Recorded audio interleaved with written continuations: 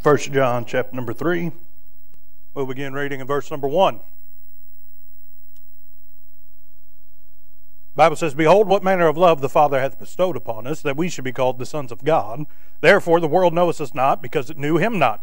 Beloved, now are we the sons of God, and it doth not yet appear what we shall be, but we know that when he shall appear, we shall be like him, for we shall see him as he is. And every man that hath this hope in him purifieth himself, even as he is pure. Now, the Apostle John, writing this passage, I mean, we could go all the way back to, you know, John chapter number three. Okay, John knew a whole lot about the love of God. Okay, I mean, we don't have time to get into, you know, the love of God. That's not what we're teaching on today. We couldn't exhaust that in every Sunday school from now until heaven, and then once we got there, right?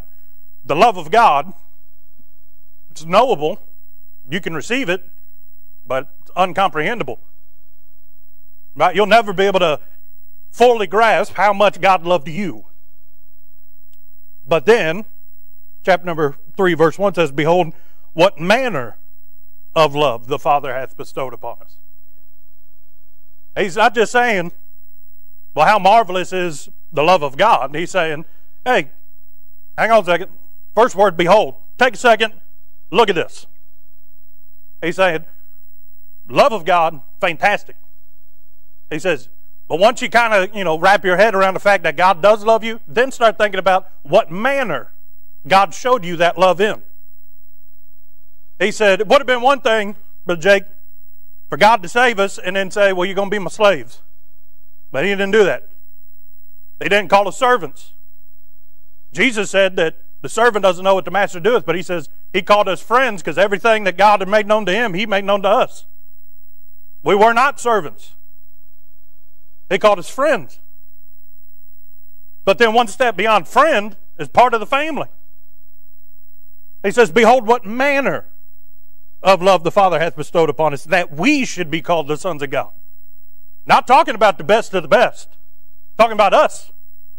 Right? The low down, no good, dirty, rotten sinners.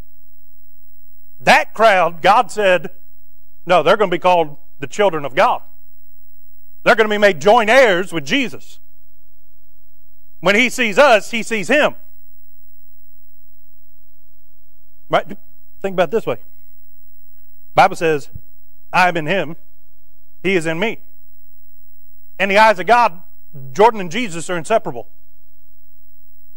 Right? They are forevermore the same. Now, I can't wrap my head around that. Right? That the darling Son of God and me would be the same thing. Right? I can't get that. But what manner of love is that? That God would take the worst of the worst, the one that sinned and caused his son to die upon the tree. I'm the one that killed Christ, but yet now I'm a child of God. He didn't just love us with a little bit of compassion. He didn't save us from hell and say, well, now you're on your own. He said, no, he'll be one of us. Because if I'm in Christ, the Father, Son, and the Holy Ghost, that means I'm in the Father too. He didn't just say, you can be a child of God. I'm part of Him. I mean, think about it much as I don't want to admit it, I am a little bit like my father. Right? We all wish that we all would have turned out like my mom, but it didn't happen that way. But likewise, I'm a part of him. Well, the same is true when it comes to God. The Father loved us so much, not only did he send his son, right? For God so loved the world that he sent his son. But then what manner of love he showed to us? It was an unreserved love. He didn't say, you, you were responsible for the death of my son, so you can't be a part of the family. You got to be out in the servants' quarters. Right? I'll save you from hell, but you can't spend all of eternity with me. No, he said that we should be called the sons of God. Then, verse number two says, Beloved, well, after just talking about what manner God loved us, certainly those that are saved are beloved. He says, Beloved, now are we the sons of God. We don't have to wait on it. It's not something that we get inherited into once we pass through the grave. No, now. I don't have to wait on some mountaintop experience to where I finally get to the point that I get my halo down here. No. There's no set of rules that I have to keep for so many years or so many classes or uh, courses that I have to take before God finally says, okay, now you're one of mine. No. At my worst, he said, you one of mine. The moment that I asked him to save me, I became a son of God. In that instant, however, God does what He does when you get saved in your heart to kill off the old man and to create the new creature. From that moment, I was the Son of God. Now are we the sons of God. And, hallelujah, does not yet appear what we shall be. In other words, you know, this is before he got the revelation, but even after he got the revelation, he'd have had a hard time explaining to you what we're going to look like. He did the best he could. You can go over to the book of Revelation, see that he's got, you know, faces brass and eyes of fire, hair white as wool. But that's just what we had. That John could, well, it kind of looks like wool, but it's whiter than wool. That looks like, but brass doesn't do him justice. Right? Fire can't capture what I saw in his eyes. But he had to use words that we understood in order to try and get the point across. So I don't know what we're going to be when he shows up. John got to look at him, but John took that look of him with him to the grave. Nobody else saw the revelation that John did. So guess what? Nobody knows what we're going to look like. It's not going to be them paintings that you see all around the stores around Easter time. Right? It's not going to be some skinny, scrawny little man with his, you know, rib cage poking out a little bit of blood dripping down his forehead. No, no, no. He's going to be the King of Kings and Lord of Lords.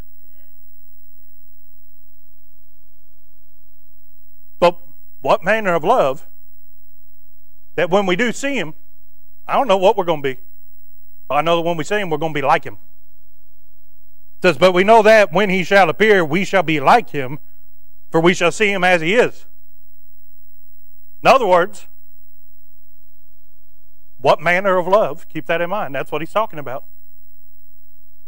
What manner of love that not only we'd be a son of God, but he would want us to look like his son. We know Christ. He's seated at the right hand of the Father. One of these days he's going to sit down on the throne of David in Jerusalem, reign for a thousand years. Then for all of eternity, go read the book of Revelation. Right? Worthy is the Lamb that was slain. Right? For evermore, Christ is going to be the preeminence of new heaven and new earth in that city of New Jerusalem. Right? We won't have no sun because he's the light of the city. Right? All of creation forevermore, everyone in glory, Jesus is going to be the center point. And he wants us to look like that. See, if it were me, if I wanted Jesus to be the focus, I'd make him the most beautiful, the most lovely, the centerpiece of it. But yet, God, when He looks around at all those that are worshiping His Son, He sees us looking like the Son, worshiping the Son. It just reminds Him more of Jesus. We're not going to be a little bit lower. The Bible says that the angels were created a little lower, and then, you know, God, but higher than man. Right? They're somewhere in between. We're not in that category. No, we shall be like him. No half portions, nothing reserved, fully given. Doesn't say that, well, you can kind of look like, he's not going to pull, well, not pull, he didn't decide to do what he did in the garden. He made man in his image, but man didn't look like God. He wasn't as God. Right? He didn't look like Jesus. Adam didn't. But here we find that because of our Adam, the second Adam, I do get to look like Jesus. That blows my mind. I could talk in circles on how that doesn't make sense to me. But John saying, just, just think about how One, great the love of God showed you, but two, the way that God chose to show it to you. He's saying it wasn't parsed out. It wasn't set with conditions. There wasn't criteria that you had to meet in order to merit some of the benefits of being a child of God. No, you just got the whole thing. Whether you realized it when you accepted it or not, God still intended it the same for everybody. We all shall be like Him. Don't know what's going to be, Brother Ray, but it's going to be great because we're going to look like Him. And you know why that's true? Because if we weren't like Him, if we saw Him, verse number two, he says, For we shall see Him as He is. In order for us to see Him as He is, we would have had to be like Him. Because if we weren't like him, we'd have just exploded. He told Moses no man could see him and live. So imagine standing face to face with God. If you weren't just as he was, you would just fly off into nothing. His glory, his holiness, his righteousness would just consume you. I will remind you, the Bible says our God is a consuming fire. Anything that isn't holy, he destroys it. It's not a you know decision. It's just that His glory will destroy anything that isn't holy. Why he said, "Be ye holy, for I am holy." One day we will be just like Him, and we'll be able to see Him as He is, not through the Word, not through faith. Although, hallelujah, we can see Him through faith. But our faith shall be made sight. And I won't have to look. You guys remember the solar eclipse when you had to buy them special glasses so that you could see what was going on, or else your eyeballs would have burned out. Right? Because you still could have looked at the sun. Sun still blind you. But we won't have to have little handout like when you go down Disney. If it's a 3D movie, they're like, "Here, take your glasses, take your glasses, take your glasses." Not going to be like that when we get to heaven. There's not going to be an angel handing out. Make sure you put your glasses on before you look at him. Right? It's not going to be one of them. No, we'll be able to see him as he is in his fullness. Okay, but look at verse number three. And every man that hath this hope in him, and we don't have time to teach about that, but our hope isn't in what's preached. Our hope isn't in what man says. The Bible says our hope isn't in in what we were trained up to. Our hope is in the person of Christ Jesus. But we don't have time to get to that. And every man that hath this hope in him purifieth himself even as he is pure. Now, see that word purify, that doesn't mean to remove your own sin. Okay? We can't do that. He's been made our high priest after the order of Melchizedek. If we confess our sins, he's faithful and just to forgive us and cleanse us. Doesn't say that we're supposed to cleanse ourselves, because we can't do that. Okay, it doesn't say that we're supposed to perform that work of that new creature that we talked about. Bible says that he put a seed in us. What was that? Himself. That's the mystery of God that he would choose to put himself into no good, dirty, rotten earthen vessels. But yet he chose to do it anyway. I can't make that grow. I can stand back and let it grow, but he's the one that does that work in us to turn us into that new creature. That's not what this is talking about It says, purifieth himself, for he, Christ, is pure. So what's he saying? He's saying, those that have the hope that one day we're going to see him, we're going to be just like him, we're going to see him as he is, we're going to receive the full portion that was allotted to us by God as a child of God. Those that have that hope want to be ready to meet him. They purify themselves. In other words, they remove anything that would keep God from doing that in their life. Because one day I'll be just like Him, but in the meantime, I'm not. And when I do see Him, I want to see Him with confidence. Right? That's we're going to get to that here in a minute. I want to meet Him without shame, without reproach. I don't want to you know, have to hide my eyes from him. I want to be able to look him square in the face with joy, anticipation, because I was prepared for him to come before he came. That was the indictment of the world when Christ came as the Lamb. He told them everything that they needed to know, but nobody was looking for him. Those that were looking for him, they weren't even where he was sent to. We know that the wise men, they noticed that something was up. They started consulting the scripture. The king's born. They knew it. They came looking for him.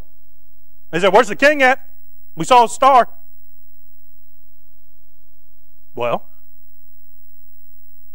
first time around, people weren't looking for him. I mean, our pastor preached on it. It was either Sunday or Wednesday. I can't remember now. They're running together in my mind. But that when the uh, Christ return, will he find faith on the earth? Right? Is any good, anybody going to be holding on to the hope that is in him? The hope that's supposed to be in us? Anybody going to be clinging to it? Because if they are, those that have that hope, that truly believe deep down in their soul, one day they're going to come face to face with an almighty and holy God, will purify themselves. Not because they expect anything, not because they want to reward. No, no, no. They purify themselves because they want to be like Him, and He is pure. No conditions, no expectations. Not looking to try and upgrade where my mansion is in heaven, get closer to Him. Wherever it is, it's perfect because He made it for me. Let's be honest. He made a place for us because He's a great host and He does all things well. How often you really think you're going to use that mansion? We're going to be worshiping Him for all of eternity. How do you plan to do that if you're inside sleeping? You'll have no need of sleep. I don't find that after the marriage supper that there's ever a meal in heaven. Must be one really good meal. What are you saying? All the things that people get wrapped up in and concerned about, not important. When we get there, it's all about Him. One day we might be able to have a little, you know, social hour. Hey, uh, John the Baptist. But let's be honest, you're not going to care who's there. All that matters is that he's there. I don't make myself pure because one day I'm going to get to see my grandma, Aunt Lynn. I make myself pure because he's pure. I don't make myself pure because one of these days I'm going to get to meet those that were the forerunners of the faith for me that prayed somebody else into the family, that shared the gospel with somebody in my family that led them to my goodly heritage. I'm not really going to care about that. Why? Because it's all about Him. So then the indictment is while we're here, why isn't everything about Him? That's what these verses are saying. It says, Behold, what manner of love the Father has bestowed upon us that you can be just like him. You know why he wants you to be just like him? Because unless they see Christ, we can't help anybody. If it's about me, nobody getting help. So the Father made me like him so that the world could see me, but really see him. Behold, what manner of love God showed upon us, bestowed upon us, that means gave to you on purpose. Means what an accident. Okay, that not only we should be the sons of God, but also that we should be just like Him. No difference. Why? Because it's all about Christ. You go and study out the epistles that the Apostle Paul wrote.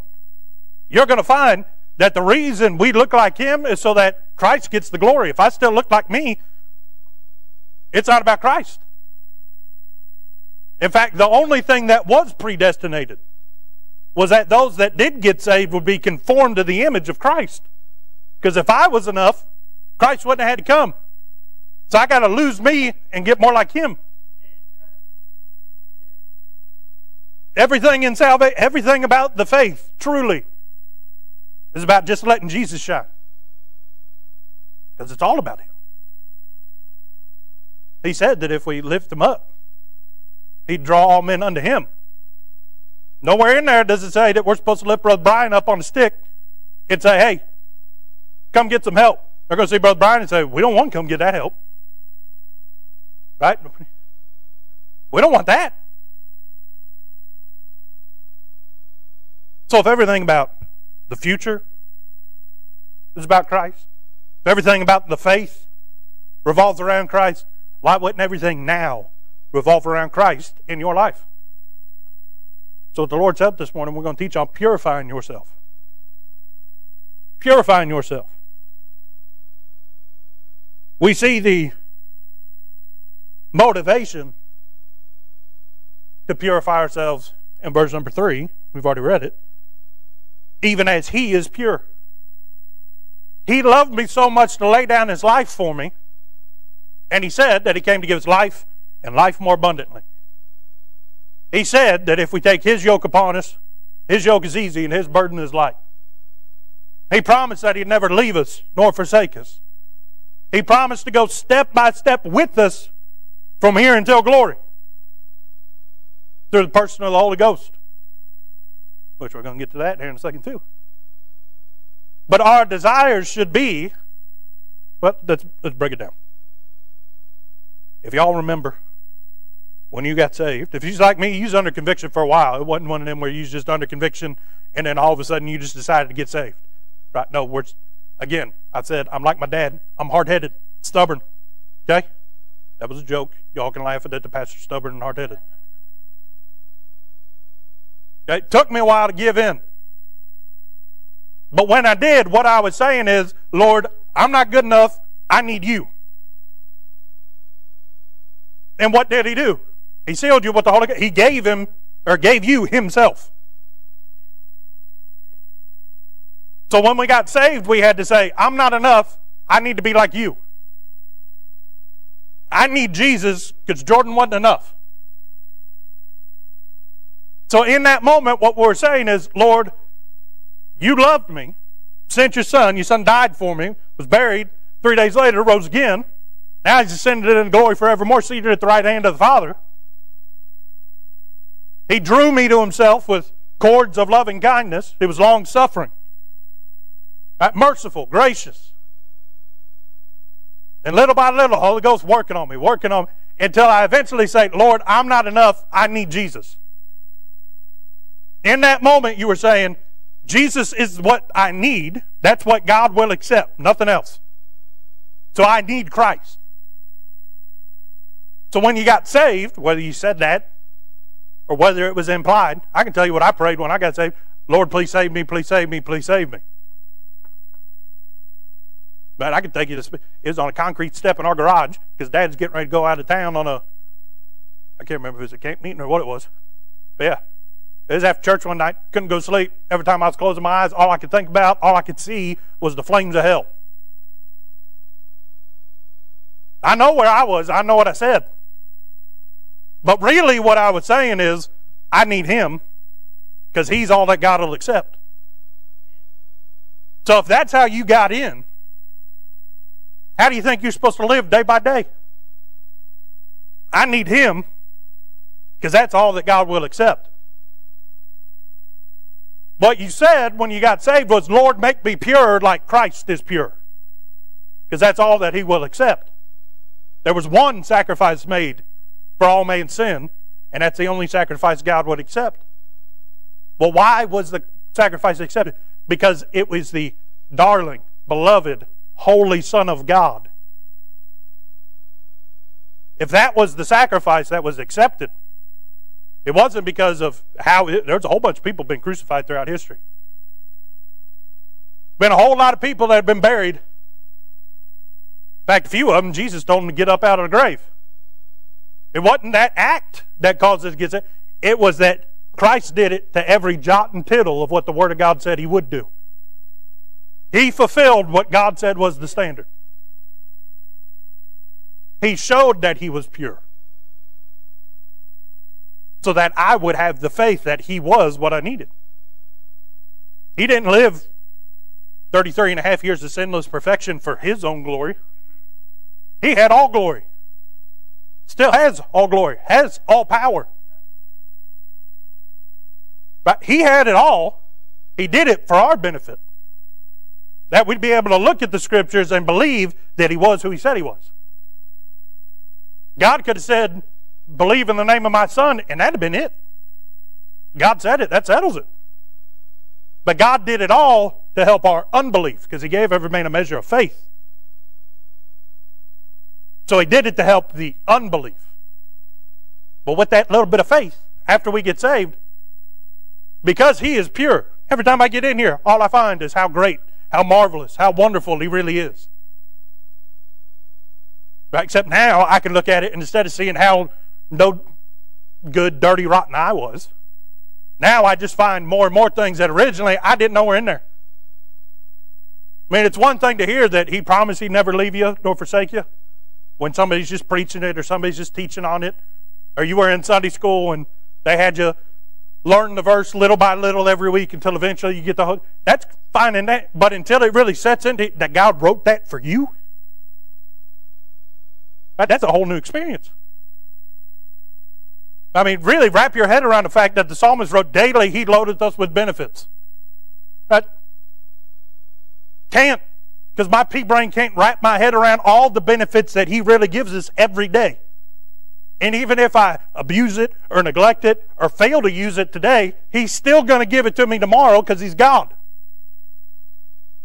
I can't wrap my head around that. Part of me in the flesh that, well, if somebody doesn't use it, somebody does it wrong, don't let them do it again. Don't give them enough rope to hang themselves. Right, take it back. God's not that way. He's long suffering, merciful, and gracious, like we've already talked about.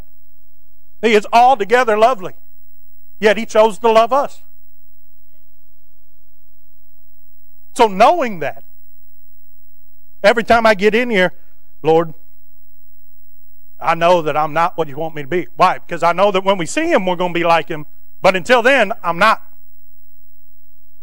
Until I see him, the work isn't finished yet. So I desire to be more pure today than I was yesterday. Well, how do I do that? I remove those things, as we've already talked about, in my life that prevent God from completing that work of the new creature in me. The only thing on earth that can limit God is man's will. It's not man's power. It's not man's intellect. It's not man's desires. God can do what he wants to do, but he chose to make man a free moral agent, and he won't unless we let him. So, in our lives, to purify ourselves is to remove that part of me that says, I don't want to. That's a, I don't know why I just saw this. Back when I was decently in shape and playing football, which has it's been over a decade now. So if you're wondering what happened, a lot of meals between then and now. And a lot of snacks too. And lots of Pop Tarts. But There was always a part of me when we was lifting weights, when we was really lifting weights didn't bother me. I was okay with lifting weights. I was okay going out and hitting each other. It was the running. I hated running. Despised it. Absolutely hated it. And I even got it easy because I was a lineman. I got thrown with the fat guys. Half the time I got to take it easy. All I had to do was finish in front of them and I didn't get yelled at. Because some of them was big boys. But there was some every time I'm running, there was that part of me that says, why in the world are we doing this? But we already ran 10 sprints. Why do we need to do 11? 10's a nice round number. Who came up with 11? There's always that part of me that I'm in better shape than that guy. Why didn't he have to run more than I do? Right? Let me stop. I've proved I'm in shape. And I hated the bleachers, running the bleachers.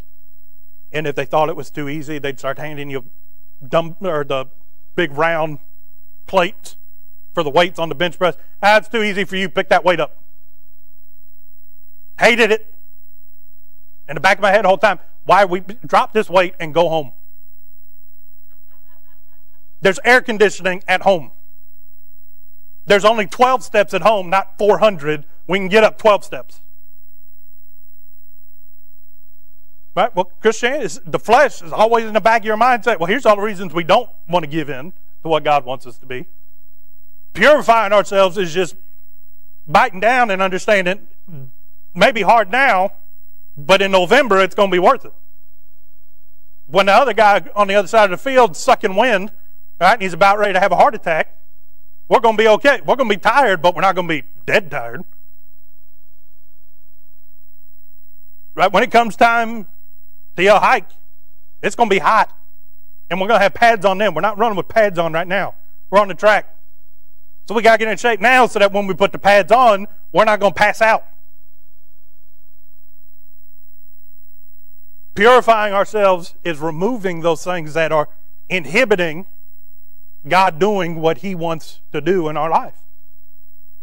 I can't cleanse myself from sin, but I do have enough sense that if I ask God and I cry out, Lord, help remove these things that are part of that old man. I know I can't do much, but I do know when I'm in the will of God and when I'm not in the will of God. I do know what'll keep me in the will of God and what'll pull me out of the will of God. So, Lord, help me, purify me, so that I can be like you. See, God's not going to come down and swat them bad thoughts away in your head. Right? He said that He made us kings and priests, kings to rule and reign over this flesh. He said, I've given you everything you need to deny the flesh and embrace Christ. All you got to do is just do it. Well, what's the secret? Just do it. Well, it may be hard. Yeah, but the decision is either do or don't do. You've got to make that decision for yourself. But someone that has that hope, that promise, they're convinced in their mind, one day I'm going to stand before a thrice holy God and give an account of what I've done for him. They're going to say, I strive to be pure because he is pure. And I want to be pleasing unto the Father. Look with me if you will. Verse number 19. Talking about being pure before God. It says, And hereby we know that we are of the truth and shall assure our hearts before Him.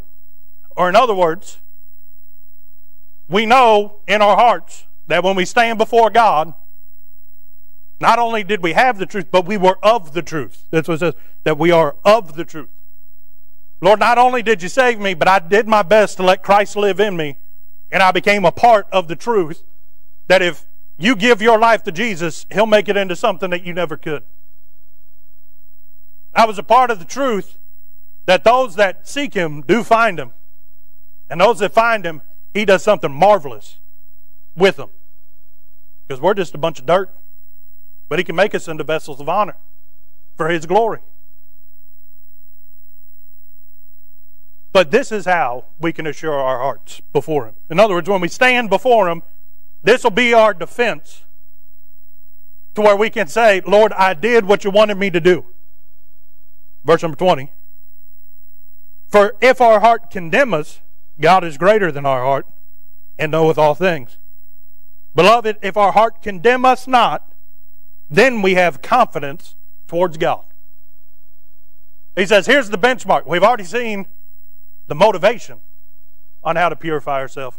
Here's the mechanism on how to purify ourselves. He's our motivation. But how do we know if we're living up to the standard? There's this thing, for me, it's right about here. And when I get under conviction real good, that feels like somebody's just got a knot right there in the middle of my chest. You know what that is? That's God getting a hold of my heart. He says, For if our heart condemn us, God is greater than our heart and knoweth all things. In other words, he's saying you don't even know half the things that you do most of the time. We're not, we don't even give a second thought to things that we say after we say them. Later on that day, if somebody were asked, hey, what'd you say to that person in that conversation? I can give you a recap, but if you want a word by word replay, I can't give that to you. Well, guess what? God does have a word by word replay. So if we sit down before the Word of God and we're desiring more of Him, you really don't even need to ask Him what you need to improve on what you need to address. Because the more you find out about Him, the more you realize you aren't like Him. If you desire to get close to Him, when you get in the Scriptures, He's going to show you those things that keep you from getting closer to Him. Why? Because if I desire to get closer, I got to be less like me. I've got to purify myself. I have to use my will and say, Lord, I'm moving this out of the way to show that I do desire you more than I desire this, or I desire these things in my life. I'm removing, if you remember the illustration of the silversmith that God uses in the Bible, he takes the dross off the top. What's that? Those are the impurities. The things that aren't silver. They have no value. In fact, they pollute the rest of the silver and make it less valuable. But it's a whole lot better in your life if you say, Lord, I'm taking these impurities I'm putting them over here. I don't know all of my faults, Lord, but you've showed me this one. I want to get, get it right. I want to get it out of my life. May not be sin, may be iniquity. That's unequal dealing with God. You may not have been given God what God truly deserves in your life. May not be sin or iniquity, it may just be a lukewarmness. You're neither in nor out. Lord, here's my indecisiveness. Lord, here's my complacency. Here's my apathy. Remove those things from our life. Purify ourselves. And then you don't have to go through the fire for God to remove it from you. If we choose to set it aside, we may save ourselves a little bit of time, a little bit of heat, a little bit of suffering. Well, why are we suffering? Because I won't let go of the thing that God wants me to let go of. He's doing it for my good because He knows I don't need it. But if we choose to give it up, that's the sign of someone that desires to be like Him. Because God doesn't have to pry it from them because He won't take it unless they give it. Sometimes some of us have to get real miserable before we let God have what He desires. The better alternative is, Lord, I'm going to set it aside because I know you're not happy with it, and I want to get closer to you. But then it says, For if our heart condemn us, God is greater in our heart. I don't even know all the stuff that I do. So if my heart if I get under conviction about the things that I do know, God knows everything. Even those things deep down in my heart that I can't even know, all the things that this tongue's capable of saying that could, you know, kill the spirit of revival, could kill my own spirituality, could make a mockery of anything that I would ever do for God. I don't know what those things are. Don't want to find out. But God knows them. So if my heart condemns me, certainly how much more so when I stand before God, all the things that I'll be ashamed of. But then he says in verse number 21, hallelujah, beloved, if our heart condemn us not, then have we confidence towards God. Because here's the thing some things are out of my control. Outside the grace of God, I don't know what I would be, but hallelujah for the grace of God. What he's saying is, no man's going to be perfect because we're still in this sin cursed flesh. Your heart's going to be wicked till your heart goes back to the dirt. Right? This mind that God gave us, we can use it for His honor and His glory, but it's still sin cursed. It's going to go back to the dirt. As the songwriter wrote, when this poor lisping and stammering tongue be silent in the grave, it's going back to the grave. I won't have to deal with it anymore. And all the times that I want to say that, I've gotten, gotten better. Don't say them no more. But I still think them. Still want to say them. Right? But all them times that I've wrestled, won't have to wrestle with it no more. Because I'll be like him, because I'll see him as he is. But until then, if I can get in the Word of God and see Christ and my heart doesn't condemn me, which that's a big if. Because every time I get in here, I find something. It's not that I find it, He reveals what's in the way. I could be nitpicky about everybody else. I got too, too much trouble taking care of the things that he shows me about me. Don't have time to worry about you. But if you desire to be pure when he reveals it, you'll set it aside. And if you can get into the Word of God, if you can ask God, Lord, is there anything that you're unhappy with? And if you don't fall under conviction, you can have confidence that you're where you need to be with God. Are you perfect? No. But one day you will be. But you've done all that you can. I wonder how many people could say that. The Apostle Paul said that he had to die daily, that he was chiefest of sinners. Could I'm not going to ask anybody to, but could anybody in here raise their hand and say, I have confidence towards God that I'm exactly where I need to be. Nothing added, nothing removed. Because if we hit that point, we can stand before Him and we'll hear, well done. We won't have to be ashamed. Lord, I wasn't always perfect, but I did try my best because I loved you and I wanted to be pure as you were pure. When you did show me that I did wrong, I got it under the blood. And you know what that means? It's gone. He remembers it no more. Right? Not like he wrote it down and erased it. No, no, no. Never existed in the eyes of God. That's how you can have confidence towards God. That's the mechanism of how we can purify ourselves but then, look at with me in verse number 24. And he that keepeth his commandments dwelleth in him. It's a whole nother lesson on dwelling in him. And he in him. And hereby we know that he abideth in us by the Spirit which he hath given us. Uh, we've already talked about the motivation. We've already talked about the mechanism. But here's the real movement of purifying ourselves as we've already said. God may reveal to us that He wants us to remove something from our life. Certainly, God can take it from you. But He's not a taskmaster. He loves you, He's your Father. You're a child of the King. He asked for it.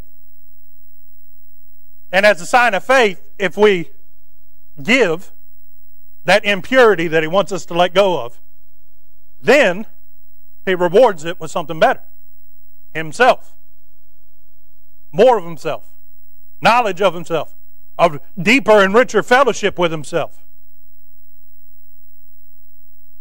But who's doing all the moving and shaking? The Holy Ghost. Right? Who shows us that we either don't have confidence with God and that we're condemned, or who shows us that we are where God wants us to be? The Holy Ghost. God Himself. John says Verse number three, and every man that hath this hope in him purifieth himself. But really, what John's saying is, if you really desire and you have the hope that one day you're going to be like him, you want to meet him on the best terms that you can, and you're just overjoyed at how much God loves you, he says you're going to purify yourself. But he says, but God knew that you didn't even have enough common sense to know what to purify in your own life. So he gave us himself. We desire to be like him, but yet he's already in us, and I'm already in him. You see, when he says, the Spirit which he hath given us, didn't say that the Spirit which we had, you know, received, or that was, you know, poured out onto the Holy Ghost always been in the beginning. Spirit, capital S, moved on the face of the waters. Holy Ghost always been here on earth, long before I ever showed up. Didn't need me. Didn't have to do anything with me. Didn't have to convict me. He was always here, but then one day, on the day of Pentecost, God poured out the Spirit and made known the Spirit of God. Because you can go back when Jesus was baptized, Spirit was there. Lighted on him like a dove. Always here, but man had no knowledge of the Spirit until the day of Pentecost when God said, Okay, Holy Ghost, move on in. And those that were saved received Him, He gave Him. The reason the Spirit was on the waters in the beginning was that when you got saved, the Spirit was already here waiting on you to move in. He gave him, and to show how serious he was, Spirit said, I'll go down before he ever said, Let there be light, Spirit moving on the face of the waters. Spirit moving in heaven, Spirit already on earth, waiting on us. Because Jesus was the lamb slain before the foundation of the world, so when the world was founded, the Holy Ghost said, I'll just go wait on him. Says, I'll be there, ready. And he gave himself, not just through his son, but also through his spirit, so that you would have the guide, because the Spirit would lead us, lead and guide us into all truth, of what we should be and what we shouldn't be. What we need to address right now. What we need to say right now. Where we need to go right now. All about Him. So, how would we know what He wants unless He told us? And I don't have to consult the Scriptures every second every day to figure out what God wants. One, Thy word have I hid in my heart that I might not sin against thee. But two, the things that I put in me, the Holy Ghost is really good at bringing them back to my remembrance when I need them. That feeling that something isn't right here. Maybe I need to pull off at this exit on the interstate. Next thing you know, huge wreck up the road. Could have been in it. You know what? This something about that guy is not right. I'm thankful that His Spirit bears witness with our spirit that we are the sons of God. His Spirit bears witness with our spirit on a whole lot more than that. Pray without ceasing. If the lines of communication are always open, He's going to do some talking. Not with an audible voice, but in that still small voice down in here. Purity is not just removing those things that are in the way between me and Him. It's listening to that voice and living the way that we should, living as Christ. Those people down in Antioch, they got that. They understood that. Why? Because they were called Christians because they lived like Christ. Purity, I can't give you a standard of, well, if you stop doing all these things, you can stand before God with confidence. You will have thoroughly purified yourself. I can't say that. You know who can tell you that? Holy Ghost. You know who can lead you into all truth, but also along the way, the word spiritually discerned. The word wouldn't even be a lamp under your feet and a light under your path unless the Holy Ghost told you what the word was really saying. Taught it to you the way that you needed it to be taught. He's doing all the moving all the shaking. All we got to do is listen. I have to choose to do what the Holy Ghost reveals unto me. But if I have that desire, I want to be like Him. Because I know that He's the only thing that God accepts, and I want to be acceptable unto my Heavenly Father. Behold, what manner of love that not only He gave His Son, but He gave part of Himself to put in me. And no matter how awful, how wicked or rebellious or sinful I get, He promised that He'd keep me sealed until the day of redemption. He'd never let me go. It's one thing to understand how great God's love is, another thing to realize how good God gave His love to you. And that should make us desire to be more like Him, should give us that desire to where we would be pure in His eyes because we want to be pleasing unto our Heavenly Father. Thanks to listeners like you, IBC has had over 100,000 views on our YouTube channel. If you haven't already, subscribe today. And as always, thanks for listening.